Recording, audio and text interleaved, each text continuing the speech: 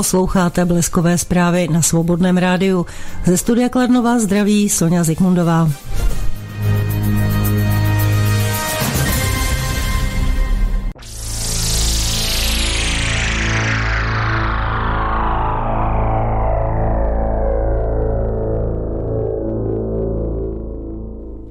Pěkný den, vážení a milí posluchači. Dnes máme 29.6.2021 úterý a na vás čekají bleskové zprávy, které budou v kratším provedení. Nejdříve si dáme zcela krátký úvodník, poté přejdeme na několik informací a následně se podíváme na svodku od Boženy Weitingerové.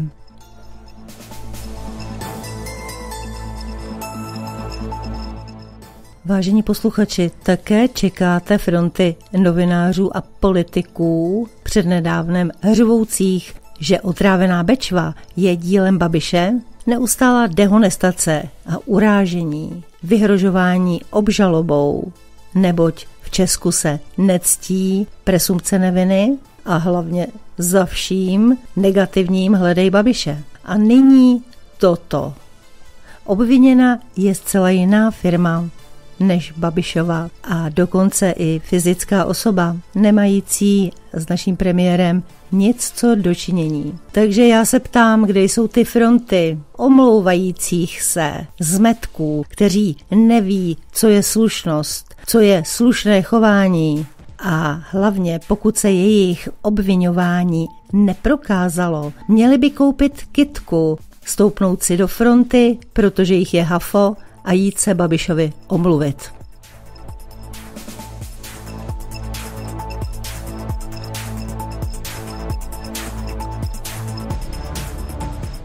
Mám tady smutnou informaci. Postřelená žena po dnešním útoku v Praze s raněním podlehla.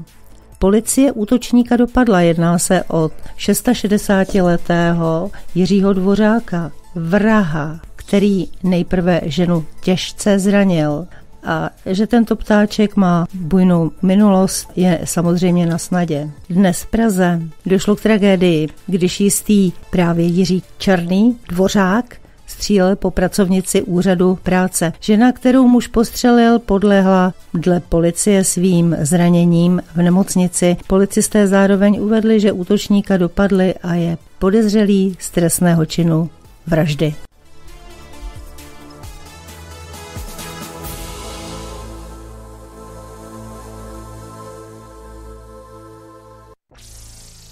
Další zprávě se podíváme do Velké Británie, kde vysvětlili ztrátu dokumentů od torpédoborci Defender.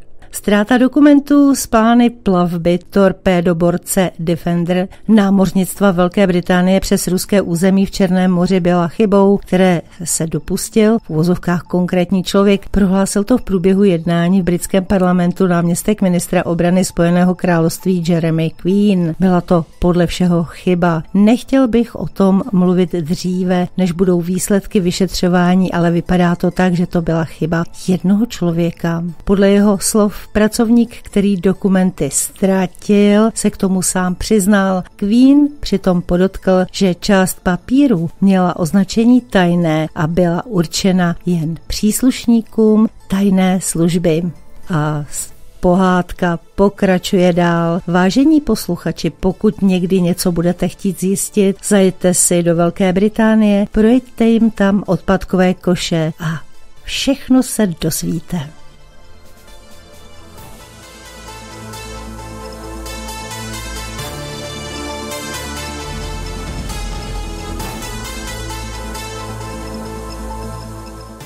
Máme tady Pražský hrad na hradě vyzvali, aby se generální ředitel ČT omluvil za nenávistný příspěvek zaměstnance televize. Na webu Pražského hradu se objevila výzva k omluvě za nenávistný příspěvek. Zaměstnance České televize Vše spustil příspěvek zástupce šéf-redaktora v České televizi Františka Lutonského, který se týkal obyvatel vesnic na jihu Moravy, které zasáhlo před pár dny tornádo. Připomeňme, že Lutonský napsal na účtu na Twitteru příspěvek, ve kterém psal, že v prezidentské volbě obce a města brutálně postižená tornádem spolehala na Miloše Zemana. Takhle tam dopadly výsledky voleb. Všude hlasovali pro současného prezidenta. Svá slova ovšem Lutonský později smazal s tím, že si je lidé prý špatně vykládají. I přesto však vysel jeho tweet na internetu dost dlouho, aby se dostal i k prezidentovi země Miloši Zemanovi. V této souvislosti tak vedoucí kanceláře prezidenta republiky odeslal dne 29. června 2021 dopis generálnímu řediteli ČT týkající se nenávistného příspěvku zástupce šéf-redaktora zpravodajství ČT pana Františka Lutonského. V dopise se píše, že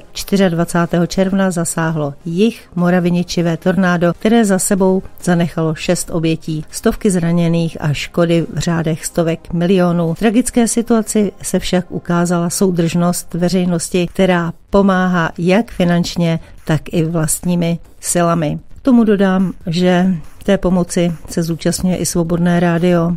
A co se týká výroků pana Lutonského, byla jsem před několika dny na Moravě a mohu potvrdit, že všichni moji známí volili Miloše Zemana a mají k němu velmi pozitivní vztah.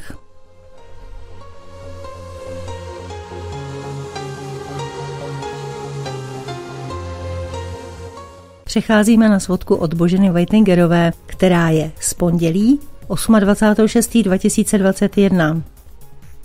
Čerpá se ze zdroje Ruské vesna.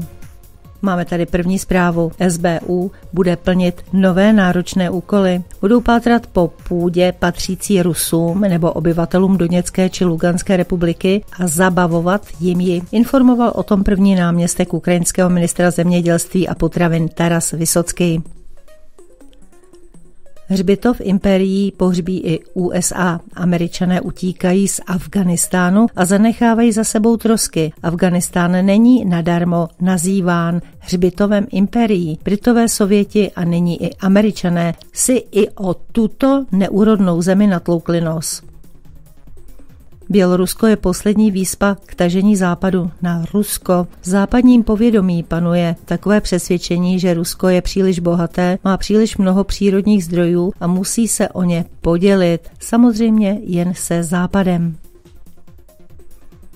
Děkujeme Putinovi, že nepodlehl výzvám a neposlal do Arménie vojáky, píše Zachar Prilepin. Arménský lid si přeje žít v americkém područí. Žít bude časem spíše v rámci Velkého Turecka, ale těžko nikomu přikazovat, co si má přát. Ani jeden život ruského vojáka nesmí být kvůli tomu zmařen. Každý, ať si zvolí to své. Dodávám, v Armenii se konaly volby a byla zvolena proamerická vláda. Rusko-gruzínské vztahy. Rusko uzavřelo tuto stránku historie, plevy se oddělily od zrna a byly odváty větrem dějin. Čemu je Rusku falešné přátelství někoho, kdo má v ruce připravený kámen? Abnormální vlny veder budou přicházet do Ruska čím dál častěji. Počasí na kontinentu se stalo agresivnějším. Tato tendence bude trvat po mnoho desetiletí. Zločin století Trump označil sfalšování výsledků prezidentských voleb a následný příliv migrantů za zločin století proti Americe. Cena LGBT vlajky na americkém velvyslanectví. Rusko může dost tvrdě odpovědět soudě dle toho, že nad budovou velvyslanectví USA opět vlaje duhová vlajka. Vypadá to, že se velvyslanec Sullivan opět vrátil. Torpédoborec USA vplul do Černého moře. Ruská vojenská námořní flotila bere situaci pod kontrolou, informuje o tom Ruské ministerstvo obrany. Rusové na Blízkém východě. Armáda Ruska mění svět. Ruští vojáci přinesli mír do těžce zkoušené Sýrie a pomáhají při obnově země bez ohledu na zhoršení epidemiologické situace. Nová hrozba. Německo může zastavit plyn ze severního proudu 2. Předseda vládnoucí CDU Armin Laschet učinil prohlášení, že pokud Moskva poruší podmínky dohody nebo využije objekt pro tlak na Ukrajinu, Německo si vyhrazuje právo zastavit proudění zemního plynu potrubím. V Moskvě byli zatčeni důstojníci letectva FSB, píší média. Tři vyšší důstojníci řízení letů FSB byli uvězněni.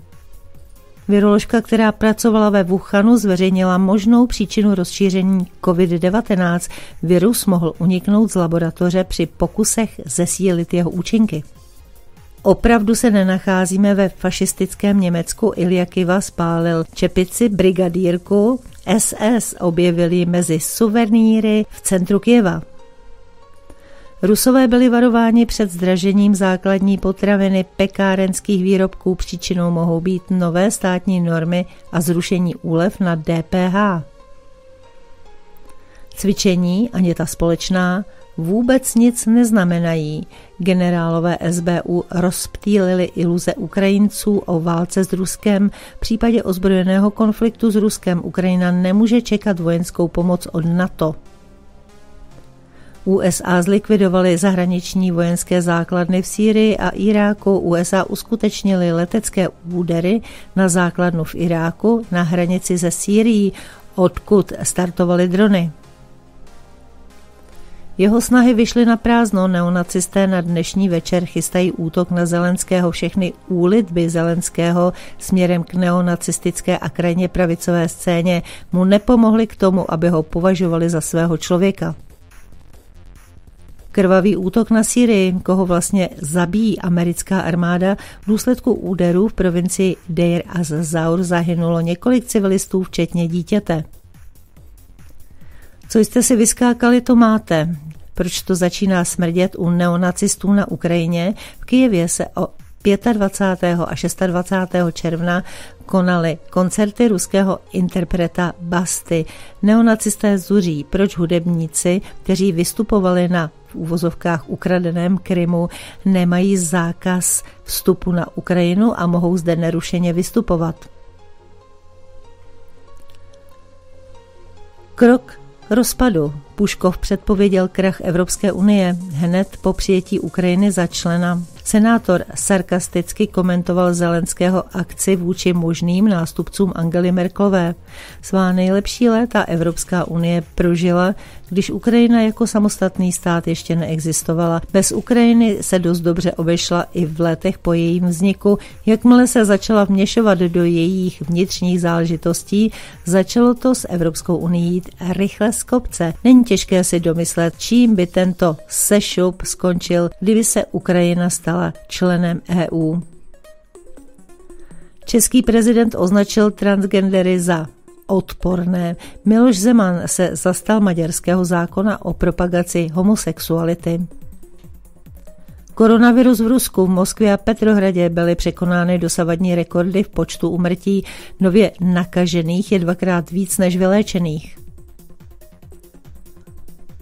Zelenský je zabiják ústavy. Zelenský si musel přečíst nepříjemný verdikt. Dva poslanci nejvyšší rady přišli u příležitosti Dne ukrajinské ústavy oblečeni do triček s tímto nápisem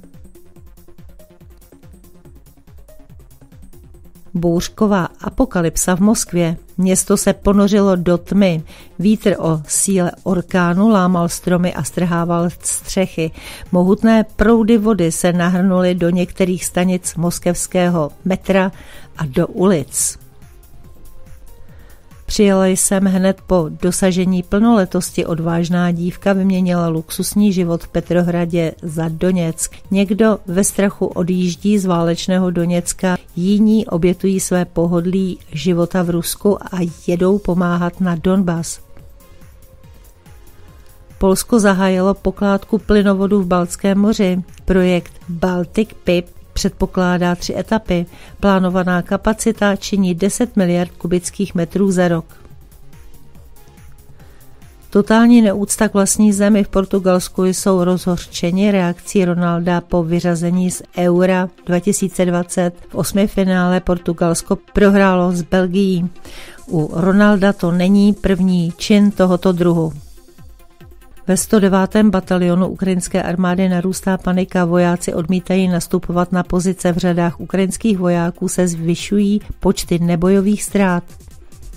Rusy je třeba tlačit k vakcinaci, říká ruský minister zdravotnictví, je třeba lidi ochránit. Oslovit je třeba dokonce i ty, kdo o tom dnes nechtějí ani slyšet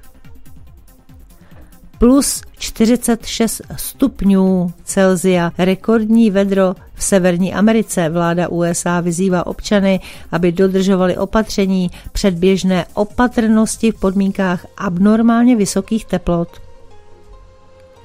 Výbuch a silný požár u stanice metra v Londýně do boje s ohněm bylo zapojeno několik desítek hasičů.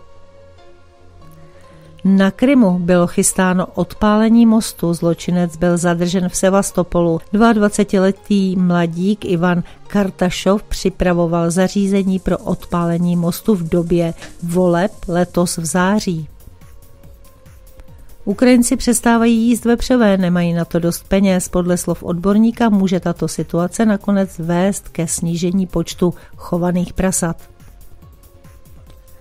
V Rusku informovali, že v důsledku vakcinace nedošlo v zemi k žádnému umrtí, prohlásil to ruský minister zdravotnictví Michal Muraško. Vy jeďte do Brusele a my z organizace vystupujeme. Minsk zveřejnil odpověď Evropské unii na uvalené sankce. Bělorusko pozastavuje svou účast na iniciativě Východní partnerství a odvolává svého velvyslance při EU na konzultace. Šéfovi zastoupení EU v Minsku doporučili, aby se vrátil do Bruselu. Ve státní důmě komentovali odmítnutí Německa uznávat očkování Sputnikem V. Je to rozhodnutí politické v rámci zadržování Ruska a uváděné důvody jsou lživé. Všechny podklady pro uznání, tedy registraci vakcíny, byly dodány včas. Británie zasadila další úder kryptoměnám. Problémy má burza, ale nejen ve Velké Británii. Česká republika požaduje od Ruska kompenzaci za výbuchy ve Vrběticích. Ruskému velvyslanci Alexandru Zmejevskému byla předána nota, ve které byla určena i částka. Své vole a dvojí standardy Lavrov napsal zdrcující článek o západě, principech světového uspořádání a nepřípustnosti nahrazení mezinárodního práva jakými si ad hoc pravidly. Článek byl zveřejněn v periodiku Komersant a časopisu Rusko v globální politice. Až naprší a uschne ve státní dumě komentovali drzý požadavek České republiky na kompenzaci. Praze evidentně nehodlají opustit téma mýtické účasti Petrova a Boširova na výbuchu muničního skladu. Jeden úder za druhým Erdogan ztratil kontrolu. Ruská armáda bere situaci v Syrii do svých rukou. V provincii Idlib pokračují neúspěšné pokusy Turecka dostat situaci pod kontrolu. Maria Zacharová připomněla českým politikům, jak bývají nazýváni lidé dožadující se finančních částek. Obvykle vyděrači. Česká republika těmito kroky sama sebe zapsala na seznam k Rusku nevlídných zemí a s každým dalším podobným divokým prohlášením svůj status potvrzuje. Neonacisté se dostavili před budovu Zelenského Zelenského administrativy s jasným vzkazem. Brzy tě zavřou, připrav se na to. Prezidenta obvinili z vlasti zrady. Organizátorem akce bylo hnutí Odpor proti kapitulaci blízké bývalému prezidentu Porošenkovi. Vážení a milí posluchači, to byla poslední zpráva z včerejší svodky a zároveň je to i konec bleskových zpráv. Ze studia Kladno se s vámi loučí Sonja Zikmundová a Martin Dukát. Přejeme vám příjemný poslech dalších pořadů. Mějte se moc fajn a brzy naslyšenou.